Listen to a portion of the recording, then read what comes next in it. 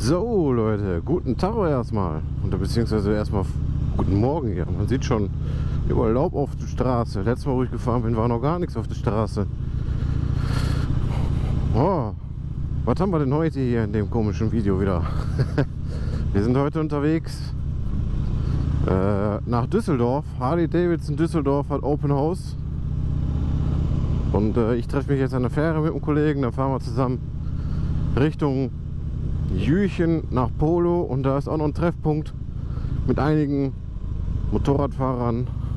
Ich denke mal auch vorzugsweise Harley-Fahrern. Und, äh, und von da aus fahren wir dann gemeinsam nach Düsseldorf. Jo, auf die Reise nehme ich euch heute mal mit. ja, gespannt hier, wie das heute so wird. Ich hoffe, das Wetter hält auch durch. Ich habe jetzt auch mal, naja, keine Winterjacke hier, aber äh, eine Bomberjacke mal ausgepackt. Und äh, jo, da gucken wir mal, ob der Kollege schon da ist. Viertel vor zehn, glaube ich, hatten wir ausgemacht. Ich bin noch gerade echt erst aufgestanden. Habe gestern Nacht noch bis halb vier gestreamt auf Twitch. GTA RP. ja. Und dementsprechend bin ich auch ziemlich Matsche noch am ganzen Körper. Aber naja, was soll es? ja, ich warte dann mal hier.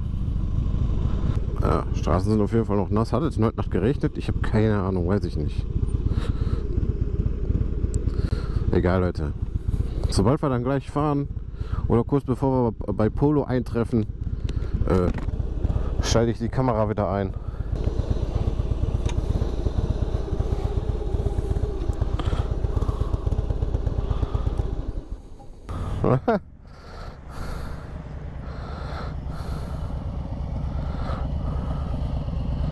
ja, moin. Hey, Schnauze. So, ich habe den Kollegen jetzt dabei.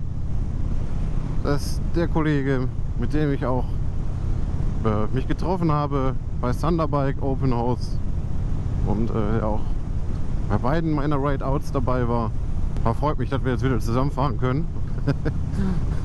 Bin mal gespannt, wie die Rückfahrt diesmal ausfällt. Am letzten Mal war das ja irgendwie, oh, auf einmal war er weg. Wenn Scheiße läuft, läuft Scheiße. Ja, und hoffentlich äh, bleiben wir trocken heute, aber äh, Wetterprognose sieht eigentlich ganz gut aus. Äh, man sieht ja richtig schön herbstliches Wetter, Straßen sind noch ein bisschen feucht von der Nacht, ähm, aber die Bäume geben richtig schöne Farbe ab. Da muss ich mal gucken, dass ich auch mal jetzt schleunigst ein paar schöne Fotos bekomme. Mit der Harley irgendwie auch dann unter so ein paar Laubbäumchen oder so. Ja, wir sind jetzt unterwegs. Wir haben uns jetzt entschieden, wir fahren hin Autobahn, weil sind auch relativ spät, sage ich jetzt mal los, für Lunch abgewürgt. für Landstraße reicht die Zeit jetzt wohl nicht. Ähm, ist aber auch nicht so schlimm. Ich sag mal, ist jetzt ja auch nicht weit. Dann ist man von hier aus eine halbe Stunde in Neuss. Ja, sagen wir mal 35 Minuten oder was. Und dann hast du ja da noch ein Stückchen. Was ist das? Die 46, glaube ich, die man hoch nach Jüchen muss. Wenn es die 46 ist, ich weiß jetzt gar nicht mehr. Auf jeden Fall die Autobahn da. Und äh, dann sind wir auch schnell am Treffpunkt. Vielleicht haben wir noch Zeit. Man kann sich mal schnell eine Cola ziehen oder so. Ah, wenn nicht, ist auch nicht so schlimm. Ich denke mal, wir fahren direkt zügig los, wenn die ganzen Leute da sind. Äh, ich denke mal, da trifft man auch ein paar altbekannte. Ich habe schon gesehen, irgendwie Kana Streetglide ist da, dann Bulletproof ist da und einige, die ich auch schon gesehen habe und auch von Instagram irgendwie auch ein bisschen bekannter sind. Also, eine kleine High Society Treffen. Du siehst gut aus. Heute schon gekotzt? Bin mal gespannt, wer noch so kommt. Ähm, ja. Übrigens, ich habe meine Z verkauft bekommen. Vor einer Woche jetzt ungefähr. Ähm, hat sich einer gemeldet, der hat die für seine Frau gekauft. Äh, die macht jetzt auch Führerschein. Er hat auch eine Z1000, quasi das gleiche Modell, was ich habe, nur als Tausender. Und ja, ist dann vorbeigekommen, Probefahrt gemacht und so, war auch eigentlich begeistert. Also ist er ja, sonst hätte er sie ja nicht gekauft. Äh, ja, ähm, da muss ich schon sagen, als dann nachher der Vertrag unterschrieben hat, der Anzeigen macht, noch steht sie bei mir. Aber gute Anzahlung gemacht. Da kommst du, ich denke mal, Standpunkt jetzt noch in der Woche dann abholen, gehe ich mal davon aus. Oder im Laufe der nächsten Woche. Und äh, da muss ich schon sagen, da hatte ich so einen kleinen Wermutstropfen, so, dass das jetzt endgültig ist, dass die Wilma geht. Äh, ich hatte ja eigentlich noch vor, mit ihr einmal zu fahren, eine kleine Abschiedstour zu machen. Und äh, irgendwie hat das bei mir aber zeittechnisch überhaupt nicht hingehauen und weiß auch nicht. Guck mal, ich bin jetzt auch schon. Gut, ihr habt jetzt letzte Woche kein Video gehabt. Also gestern kam das ja mit den an der, an der Straße festkleben und der ganze Quatsch. und äh, davor die Woche habt, habt ihr ja schon kein Video von mir gesehen, weil ich einfach nichts mehr hatte und ich hatte auch keine Zeit, irgendwas zu machen irgendwie.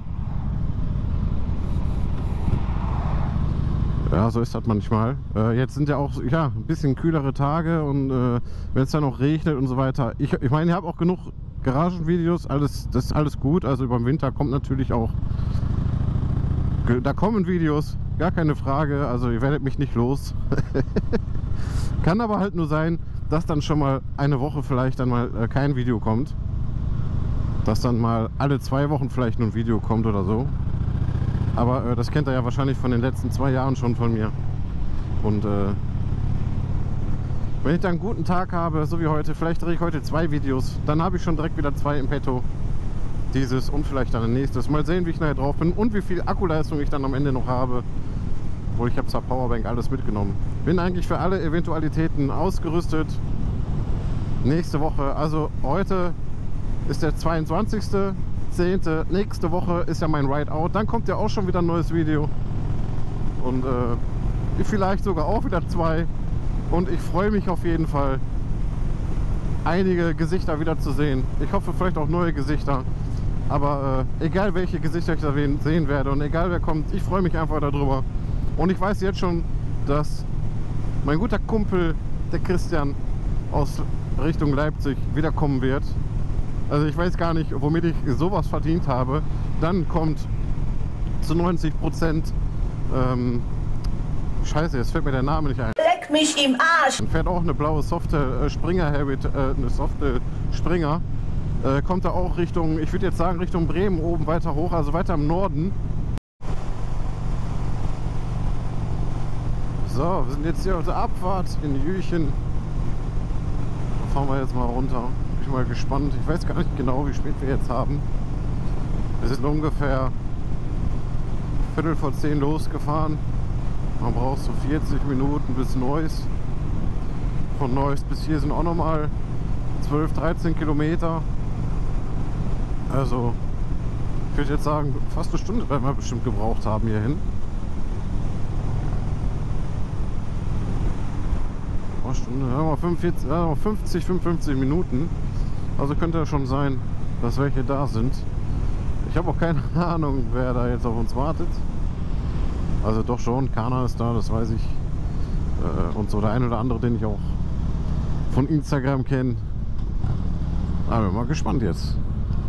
Fahrt verlief ruhig. Einmal musste ich anhalten oder mussten wir anhalten, weil ich meine Tasche vergessen habe zuzumachen hinten. Das geht doch nicht! Und äh, so sieht das aus.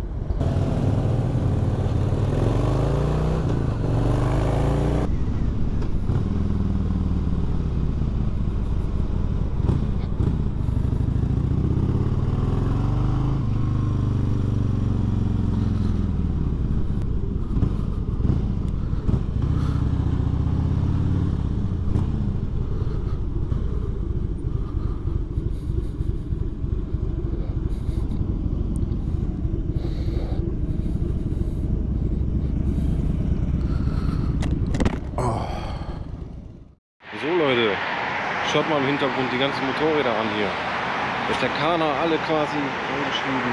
Das ist glaube ich seine Tour. Kana Streetlight heißt er auf Instagram. Da könnt ihr mal gerne vorbeigucken. Wir schnacken jetzt hier noch eine Runde und dann fahren wir, denke ich mal, gemeinsam nach äh, Harley Davidson Düsseldorf. Da ist ja Open House und äh, werdet ihr eh sehen, Leute. Hau rein.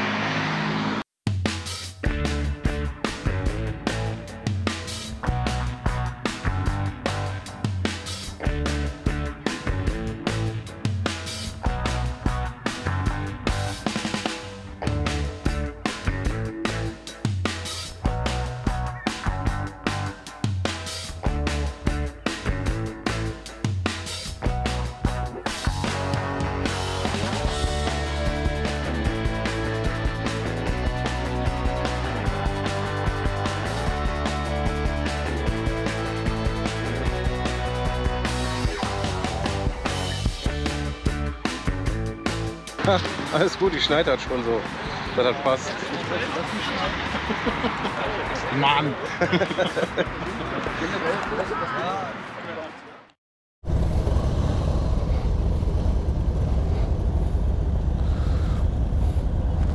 Also Leute, jetzt geht's los. Und weißt du, was das Gute ist? Ich muss nicht vorfahren. das ist sehr gut. Nächste Woche bin ich wieder der Idiot, der vorne fährt. Aber nicht heute.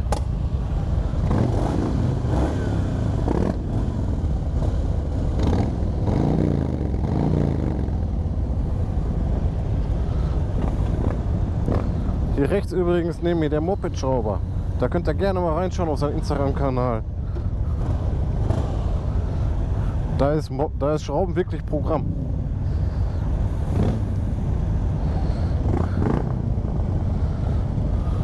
Geil, Leute. Was eine Soundkulisse. Da kann ich nicht mithalten. Mein ist dagegen noch recht leise. Da muss ich doch was machen.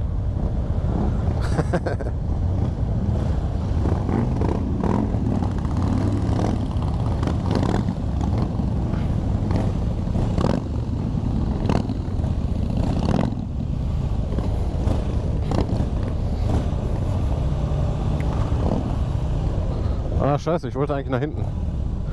Egal.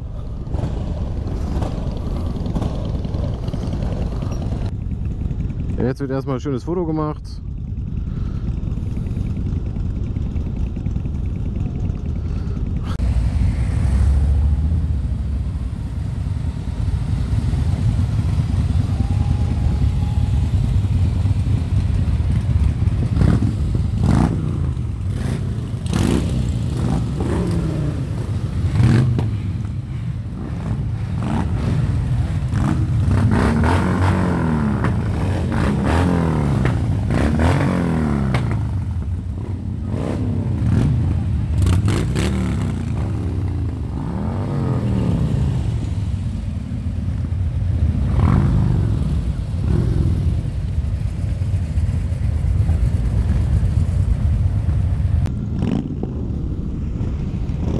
Guckt euch doch mal rein, Leute. Geil.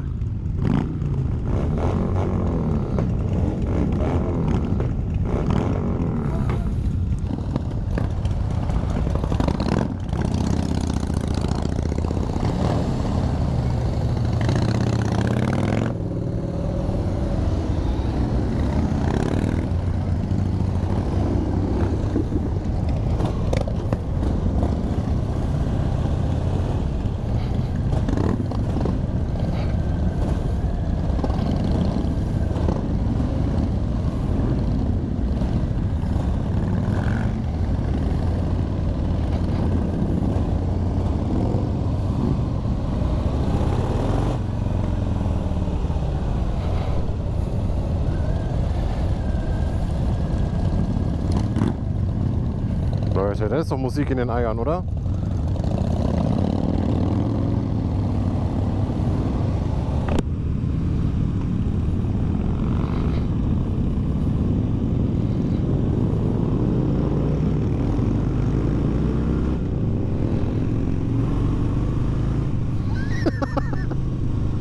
Ich flippe aus, ist halt geil.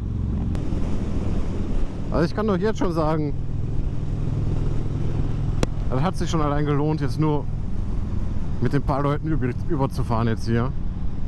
Egal wie gleich bei Harley Davidson in Düsseldorf ist, das kann das hier nicht mehr toppen. Stabile Leute, die meisten kennen sich untereinander über Instagram oder sonst wie. Und äh, man kommt hier mit jedem ins Gespräch. Einfach geil. So muss das sein, Leute.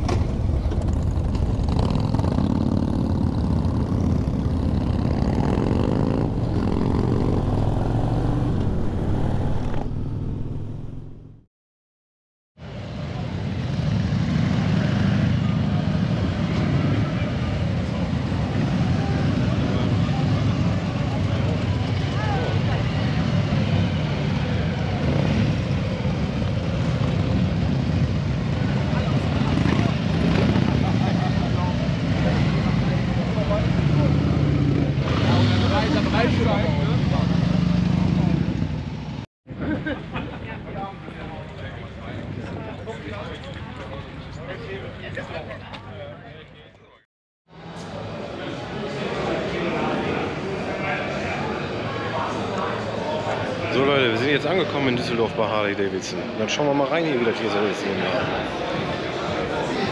Die Fahrt hierhin war ein bisschen holprig, aber wir sind alle halt angekommen. Das ist die Hauptsache.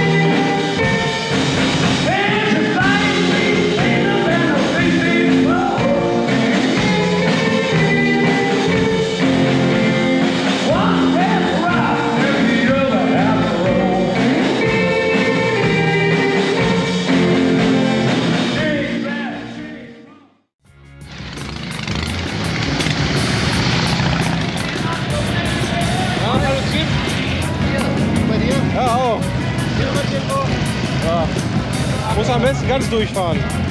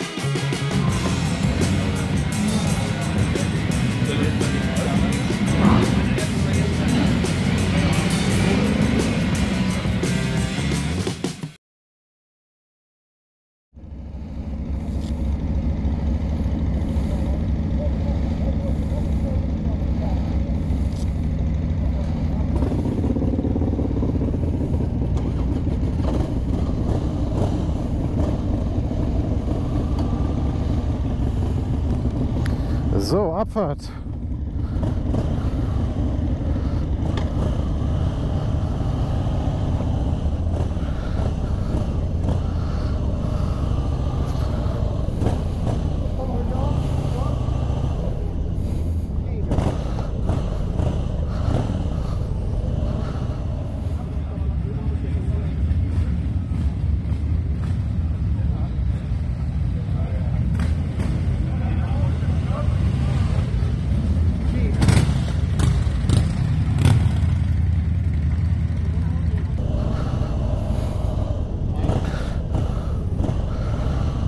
Das ist Harley Davidson Düsseldorf.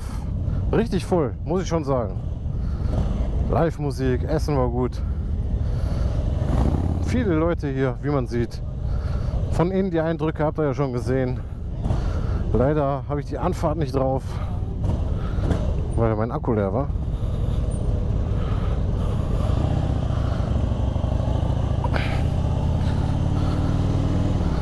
Aber egal, ich habe ja genug Stoff drauf. Und jetzt geht's gemütlich ab nach Hause. Heute Abend mit meiner Frau gemütlich essen gehen. Solche Dinge müssen auch sein. So Leute, wir sind jetzt endlich auf der Autobahn. Gemütlich auf dem Weg nach Hause. Äh, Autobahn deshalb, weil Daniel und ich beide noch was vorhaben. Also nicht miteinander, sondern getrennt. Du asoziales Element! Wie gesagt, ich mache ja noch was mit meiner, mit meiner Frau. Und äh, er hat noch irgendwie ja, ein Dartspiel. Er spielt ja so Dartmeisterschaften. Und, äh, aber freut mich, mit dem zusammen mal irgendwo hinzufahren und auch äh, andere Gleichgesinnte zu treffen, die ihr auch aus meinen Whiteouts kennt, die man von Instagram kennt und so. Das ist dann irgendwie immer so eine kleine Truppe, die immer aufeinander trifft. Den einen mag man mehr, den anderen etwas noch mehr, um das mal freundlich zu formulieren. Harley Davidson Düsseldorf war schön voll. Wir konnten schöne viele Motorräder sehen. Äh, Der Laden war voll, Live-Musik war super. Essen und Trinken gut organisiert. Da auf jeden Fall Daumen hoch an Harley Davidson Düsseldorf. Äh, ansonsten war es echt super geil, auch wieder die Leute wieder getroffen zu haben. Äh, nette Gespräche gehabt. Eine leckere Currywurst gegessen. Äh, ja, das wird es wohl gewesen sein. Äh, Fall Harley Davidson Düsseldorf, ein super Laden. Ich war da schon einmal vorher. Der ist echt groß. Die haben da echt viel Material stehen, auch äh, Anziehsachen und so weiter und Zubehörteile. Ist echt, äh, echt nicht wenig, was die da haben. Jetzt werden wir hier echt schon Wohnwagen gewollt. Ich fahre doch schon 110. Nicht dein Ernst, aber egal. Ja, der Holländer. Die Holländer sind nett. egal. Ey, was macht der? Warum fährt er so nah an mich ran hier? to grab me.